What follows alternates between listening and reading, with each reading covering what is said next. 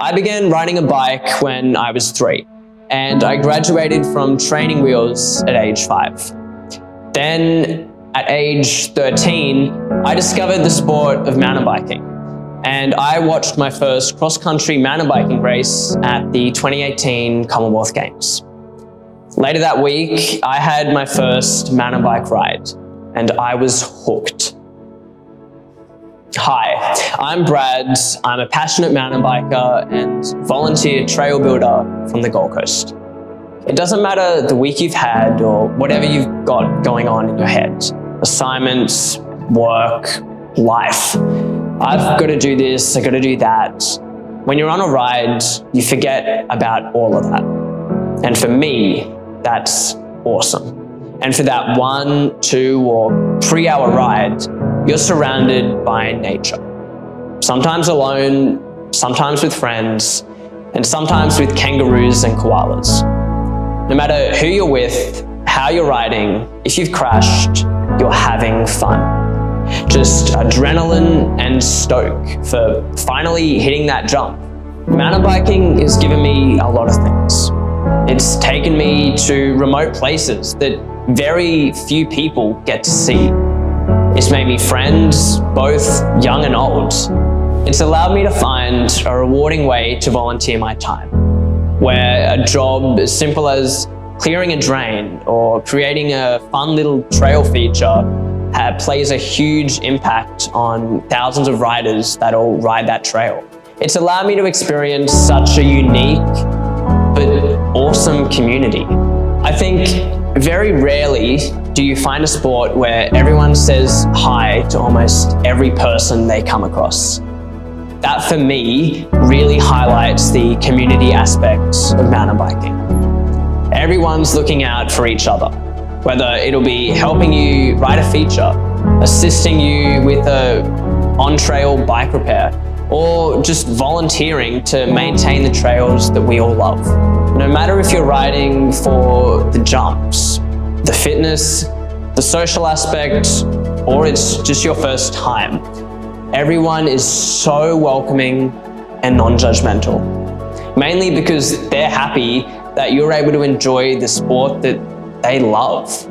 And some of the most enjoyable rides are those with new people on something like a social ride hosted by a local mountain biking club. And then we have mountain bike racing, which takes the fun and community aspect to a whole new level. For me, I remember very early into my mountain biking journey, I veered off the trail and crashed into a tree. Uh, luckily, I wasn't going fast and I escaped mostly unscathed. But at that moment, I remember shouting, this sucks. I give up. I don't want to do this anymore. 10 minutes later, I was back on the bike having fun. I may not have realized it then, but I know why I kept going. Yes, you will crash, and it's both a physical and emotional roller coaster, but it doesn't mean you stop. Every feature has its risk and reward. You just need to figure out if it's worth it. Because the harsh reality is that if you start being reckless, it only takes one crash for it to go horribly wrong. Whether it lasts a week, a month, a couple of months, or forever. I'm not willing to take that chance. For beginners or anyone undecisive about getting into the sport, my advice would be to start it easy and slow. It'll be fun and exciting, yet nerve-wracking and terrifying all at the same time.